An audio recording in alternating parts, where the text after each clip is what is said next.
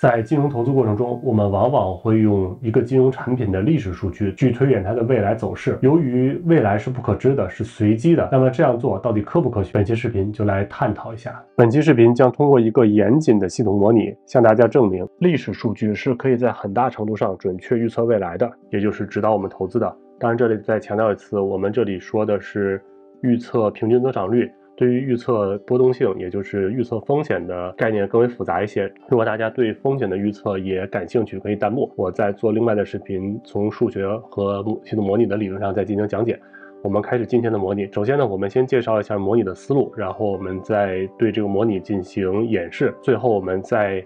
对模拟的结论或者模拟的过程进行一番讨论。所以主要分三个部分，我们从第一个部分开始。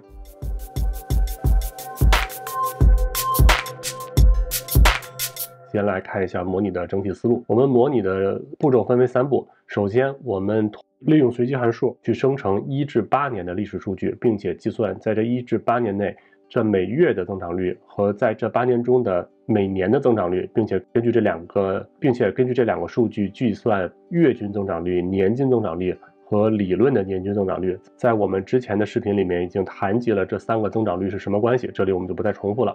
第二，我们要根据这一至八年的数据的特性，也就是它的平均增长率，去生成九至十六年的数据。换句话说，就是通过去根据一至八年年均回报和月均回报，去生成一组与其回报率相等的九至十六年的数据。这里大家要注意，生成的一至八年的数据特性，也就是它的年均增长率或者月均增长率，我们在生成之前是不知道的，要通过额外的工作进行统计，才得知一至八年的增长率是什么。用这个增长率再去生成九至十六年的数据，那通过之前几期视频的系统模拟，大家知道，因为这都是有限数据，所以一至八年的数据和九至十六年的数据这之间一定存在着差异，并且多次反复系统模拟所生成的数据也会有差异性，也就是说每次之间的模拟结果也都会不同。这就说到了第三步，我们现在所要做的工作的重点有两个，第一个我们要观测使用一至八年。数据所预测的九至十六年的增长率和实际上系统模拟所生成的九至十六年的数据的增长率是否相等？如果不相等，相差多少？同时，我们还要结合本系列视频一开始这位朋友问的问题，要观测这九至十六年的年平均增长率和理论年平均增长率有没有差异？差异是多少？好，我们现在开始模拟。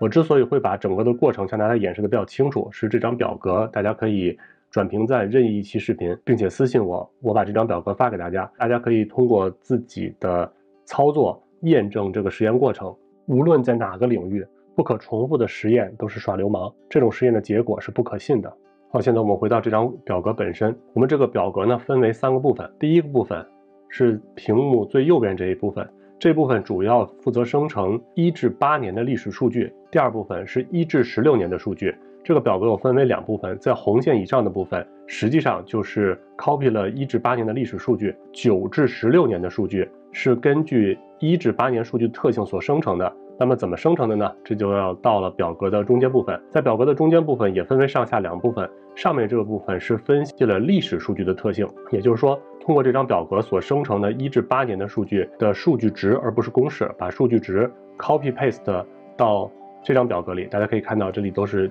绝对值，而不是一个公式。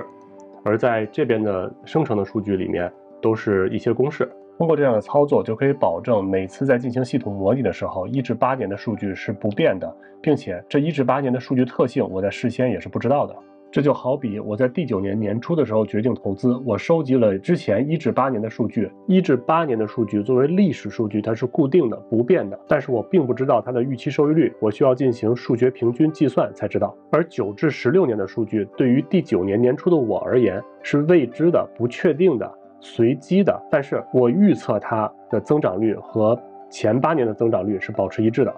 回到我们的系统模拟过程中，我对这些历史数据进行了分析。那具体的分析过程和我们之前举的案例是完全一样的，我就不在这里具体说了。简单而言呢，就是计算了月平均增长率，利用月平均增长率转化了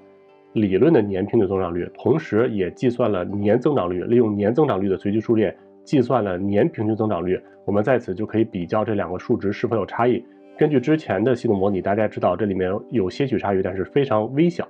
第二部分是预测未来，那么这预测未来呢，跟上面的表格的结构也是一样的。我们用九至十六年的月增长率的数据计算了月均增长率，利用复利公式计算了理论的年平均增长率。同时，我们以年作为窗口期去截取九至十六年的原始数据，计算了九至十六年逐年的增长率。取逐年增长率的算术平均值，就得到了平均年增长率。从表格上的这个数字等于这个数字，这个数字等于它的平均值。那在这个表格的上下两部分有些许差异的在于这个对比的表格。我们要做的事情是这样一个对比：一至八年预测的数据和九至十六年实际发生的数据之间的差异。利用一至八年预测的数据和实际上九至十六年发生的数据之间到底存在什么样的关系，是不是相同？同时呢，我们也可以再去对比，利用八至十六年的月均数据测算出来的理论年增长率和实际的年增长率是不是有差距？有差距到底是多少？那这个呢，就是整体的模拟思路。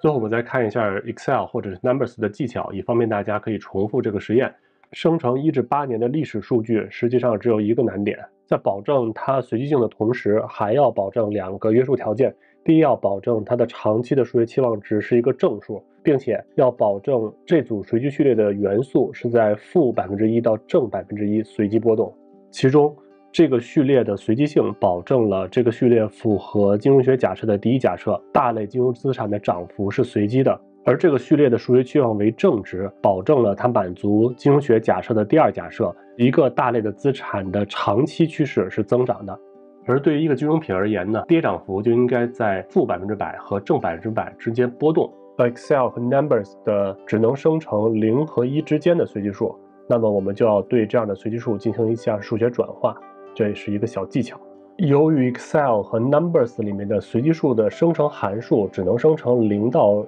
一之间的随机数，所以我们要对这样的随机数进行一个转化，才能生成我们想要的样子。首先，我们要将两个数字进行乘积，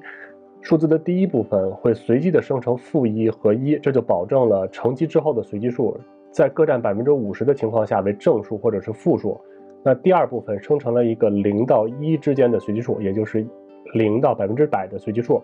前两个因子相乘，就会生成一个在正负百分之百之间上下波动的随机数。为了让这个月涨幅更接近真实的投资情况，也就是我们保证它的月涨幅大概是在百分之一上下浮动，我们把前两个因子的乘积除以一百。最后，为了保证它的长期趋势是一个正数，也就是满足长期投资为正的金融假设，我们把后面又加了一个因子，这个因子也是个随机数，我们保证它是个正数。那这个因子怎么来的呢？我们单独给它做了一个随机数，又为了让这个增长幅能够贴近真实的投资环境，也就是月涨幅在百分之一左右浮动，因此我们把这个数字也除以了一百。这两个表格里面分别除了一百，只会改变随机序列的振幅，但不会改变它的振频。当然，如果你想做其他的模拟，你也可以把这个数字改成五十或者其他的情况，也不会影响你最终的模拟结果。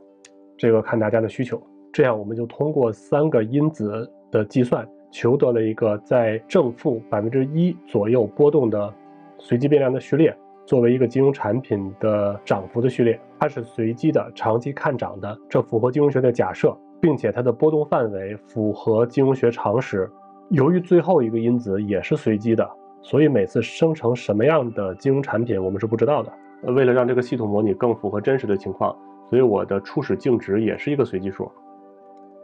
是由这个生成的。那我们现在开始模拟，现在生成了一个月涨幅为零点四七的金融产品，用数学语言表达呢，就是这个数列是个随机序列，数学期望是零点四七。由于在对一至八年的数据统计之前，我们理论上不应该知道它的月涨幅是多少。那为了让大家更能够直观的体会这一过程呢，我们首先把这个数字挡上。事实上，通过这样的计算，根据这个月均增长率所生成的金融产品，如果我们对它前一至八年的数据进行统计，我们会发现它的月均增长率和这个数字还是会存在偏差的。这也是统计学原理所决定的。这是为什么我们虽然用这个基础数值生成了一个随机序列，但是我们要忽略它的存在，还要在表格的中间部分对它进行统计，也就是对一至八年的数据进行历史分析。好，这个时候触发了这个随机过程或者系统模拟过程，我就生成了一至八年的数据。我把一至八年数据 copy snapshot，呃，这个就相当于 Excel 里面的 copy，在 paste 的时候选择 paste special，这两个是等价的。呃，我把它粘到这里，一至八年的数据就是第九十六个月。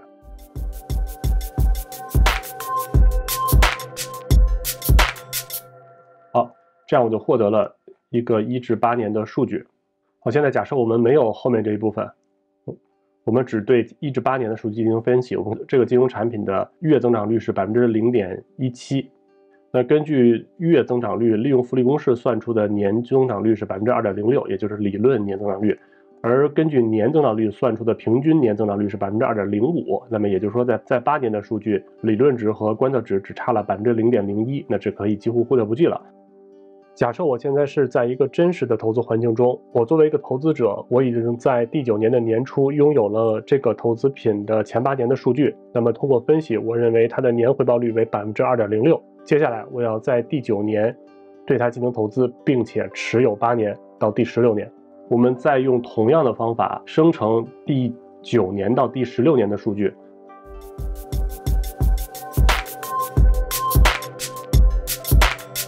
生成的技巧是一样的，只是这个增长率的变量，我们设置了一个值，这个值是月增长率设定，我们让这个值等于历史数据的月增长率，也就是零点一七。好，这样我们就生成了一组九至十六年的数据。我每次触发这一过程，就会重新生成一次九至十六年的数据。在每一次触发后，我们都可以对九至十六年的数据进行分析，并且可以重复这个实验多次。现在我们开始对第九至十六年的数据开始分析。那由于表格的结构是一样的，我就不再具体介绍了。我们现在知道这一列数据是每一次模拟所发生的九至十六年的实际值，这边预测的值呢就和一至八年的数据是一样的。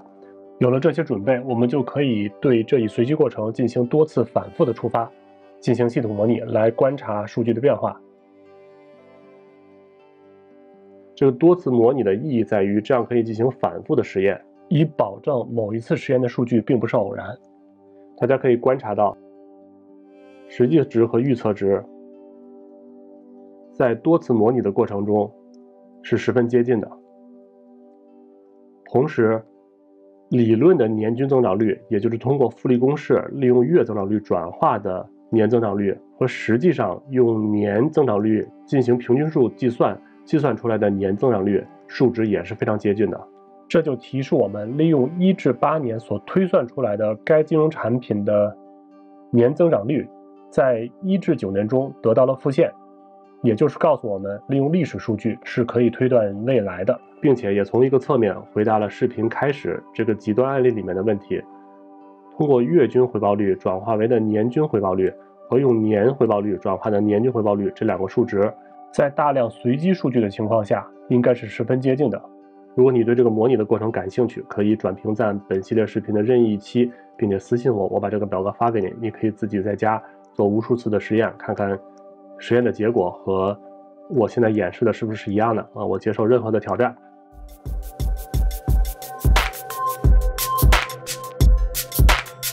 这里边我们再想讨论一个问题：每次系统模拟的结果。虽然很接近预测值，但是它毕竟是有波动的。那这个波动和每次的不同，究竟的原因是什么？对我们投资意味着什么？关于这个问题，我们讨论一下。在系统模拟开始的时候，我曾经提示过大家，我们这次模拟的过程只是关注于预期收益率，也就是随机数列的数学期望，我们并不关注投资品的风险，也就是它的波动性。波动性就对应着数学概念上的方差。正是由于这种波动性的存在。以及方差的存在，导致我们在多次的模拟过程中，数值虽然趋近于预测值，但是它还是有偏差的。这是因为我们所模拟的八至十六年这个投资期间是全局数据的一个抽样数据，而绝大多数的金融大类产品是永续的，这就导致了它的涨跌幅序列是一个无限数列。又因为金融学第一假设，这个无限数列中的元素是随机的，也就是说它是个随机序列。只要这个数据是随机的、存在方差的，那么这个抽样数据和理论值，或者说和它的数学期望值就会存在偏差。这是数学原理所决定的。而随着投资窗口期的增长，你实际获得的回报率就将无限趋近于通过历史数据形成的预测值。而作为一个自然人，由于生命的长度导致的投资年限是有限的，那么我们如何在短的时间窗口内尽可能避免金融产品本身所具备的波动性对于我们收益率稳定性的影响呢？这就必须得请出下一个大杀器——均值方差分析，马克维茨的投资组合理论。所以简单小结一下，投资品的增长幅的数学期望，或者是增长的均值，告诉我们长期持有这个产品，我们未来会获得多大的回报。这提示我们要坚持长期投资。这个系统模拟告诉我们数学期望作为一个年增长平均值的指标的有效性。同时，实验数据和理论数据之间的些许差异也提示我们要重视风险，也就是这个随机序列存在着天生的波动性，对应着数学上的方差。那关于如何去消除这个波动性，大家可以回看《科学投资》系列视频，里面详细讲了如何通过数学手段和 Excel 工具手段构建投资组合，以消除投资标的的波动性，以帮助大家科学的、自主的，以最快速度、稳定的实现财富积累。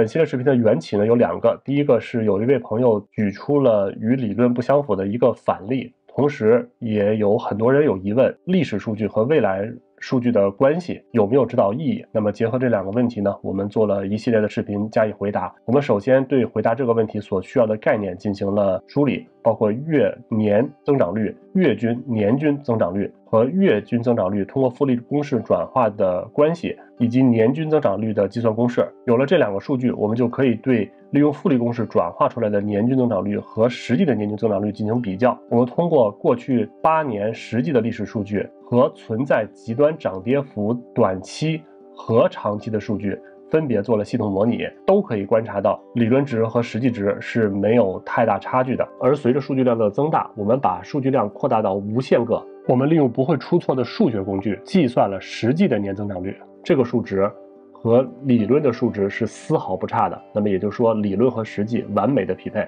最后，我们将这个话题进行了延展，通过一些 numbers 的技巧，我们利用系统模拟的方式向大家演示了利用八年的数据。去预测未来八年的投资行为是否有效？答案是有效的。总结一句：理论符合实际，历史数据可以指导未来。这就是本系列视频希望告诉大家的内容。如果你觉得我做的还不错，欢迎点赞、关注、转发，谢谢大家，我们下期再见。